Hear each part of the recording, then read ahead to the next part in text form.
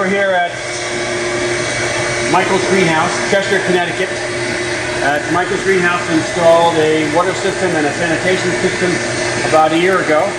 And we're interviewing Roger McCahey, the head grower. And it's in April and all his plants are really flowering and flourishing. And we're going to ask Roger a few questions on how he's doing his sanitation here.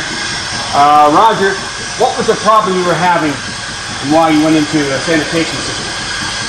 Well, we, we got a lot of algae in the water. We got a lot of blocked nozzles. And this 20,000 gallon storage tank was just getting green and everything was blocking up. So we, we basically had to do something. And if you tried to do something before the Hanna system? We, we emptied the tank, um, got it inside, scrubbed it out, brushed it out, pumped that sludge out, got ZeroTol and put a reasonable concentration of ZeroTol in, wash the whole thing out so that we were trying to start again with fresh water.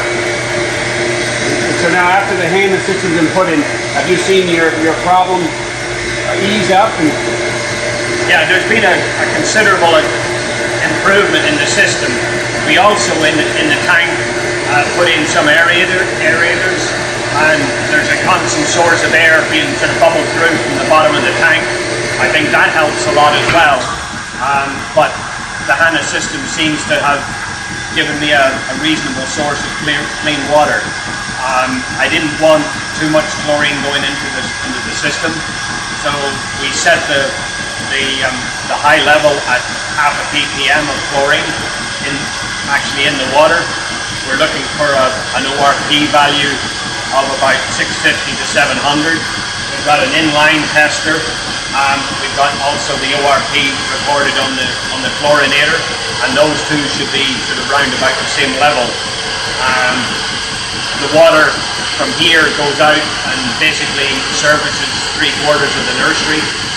Um, and through my mist lines, through my um, overhead watering lines in the glass house, and with a uh, water tunnel water basically everything's a whole lot, whole lot cleaner. We've got less algae growing on the floor of the, of the glass house. Therefore, there's less breeding areas for shore flies and sort of just general slippy floors, and everywhere's a whole lot cleaner. Now, about how many parts per million are you adding? You say your, your limit was a half. Actually, how much are you about using? Well, I'm not really using that much chlorine. I, I buy it by the case. Um, it's a 12% chlorine solution pool shot. And when I go in and buy a couple of cases, the, the lady in the store usually says to me, well, don't put it all in your swimming pool at once. And I said, well, I just use for a, a chlorination system in the greenhouse. But I probably used um, 30 to 40 gallons of chlorine sort of over, over the course of the year. It really doesn't, doesn't use that much. It obviously depends on the amount of water that you're using. Um, but in the, in the late spring and summertime, we can empty this tank. It's, it's replenished all the time, but basically we can, we've got eight foot of, eight foot four of what, feet of water in this 20,000 gallon tank, and I can get it down to two or three feet at the end of the day.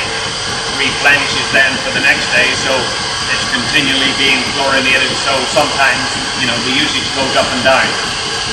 So you're finding using uh, sodium hypochlorite is very easy and easy, readily available, just easy to use. Oh yeah, I mean it's just regular sort of chlorine that you use, you know, to clean your swimming pool. It's just it's a constant monitoring device, and you've got to make sure that. I mean, I've I've experienced sort of chlorine problems over the years, so I wanted to make sure we kept it down. So I mean, I've, I've never really gone more than half half a ppm of chlorine, and sometimes it's you know it's it's 0.04 or 0.05 ppm of chlorine actually in the system. The ORP stays up, contributed to by the fact that the the um, the aeration in the tank as well, but you know the whole system together keeps the, keeps the water a whole lot clean. My filters get blocked up a whole lot less, so there's less maintenance, and just generally it's you know cleanliness is next to godliness. so you, this system is paying for itself with the lack of labor cleaning out your nozzles. And yeah, I mean it's all it's all it's all relative, but it it's, it eases the whole pressure and keeps the environment cleaner, and um, you know for for what little chlorine you use, yeah, the system is, is very beneficial and cost effective. Great. Yeah. well, thank you for your your services here. And uh, this is again Michael's Greenhouse. We're signing off. Michael's Greenhouse, Chester, Connecticut.